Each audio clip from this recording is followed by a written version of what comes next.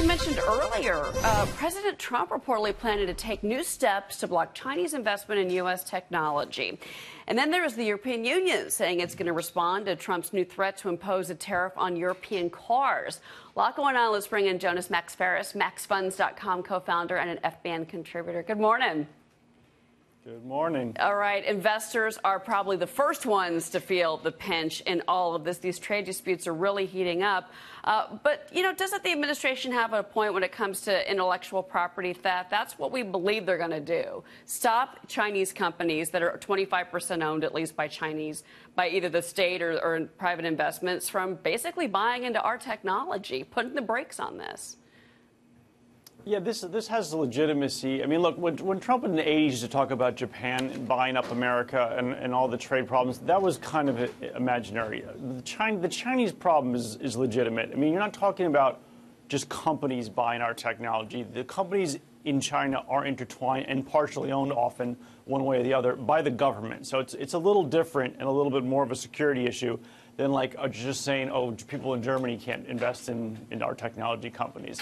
And our technology companies can handle this right now because everybody wants to invest in technology companies. Everybody wants to buy them. So there's not like, oh, without the Chinese money, what are we going to do? It's not. It's not like that now. So we're in a good position to, to kind of take on this this ongoing problem where they basically walk all over intellectual property and right. try to buy or acquire somehow our, our right. technology. That, that, that had not been addressed up until now, at least with the steel and aluminum. And you're right, they're using national security uh, uh, for the guise for all of as the administration is. But what about American companies with big Chinese exposure? What about Boeing? What about Caterpillar? I mean, that's those are the first two big names. Think gaming companies. I mean, there is going to be some side effects to this that aren't going to be good for U.S. companies. Yeah, and a lot of there certainly is, and, and it's not like it's all good. And, and, Apple makes the phones in China, like that's part of the yeah. deficit. So there's there's there's problems with the logic here as well, but we're trying to get somewhere with the government and, and have them not get away with as much. As far as the market impact, the stock market's been very weak in China. Their economy is the one that looks like it might be heading towards a recession.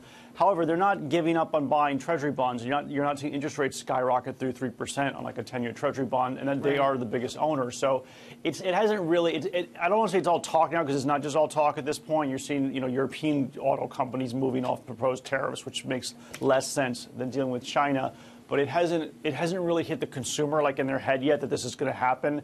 And I think investors don't really know, even if it does happen at the level that all the talk is at, is that necessarily right. going to cause recession? But we're looking at futures, Jonas. Dow down 172 in the pre-market right now. Before we go, I got to move over to the EU. You mentioned this. I want you to listen to what economic advisor Kevin Hassett uh, had to say about the EU side of all of this.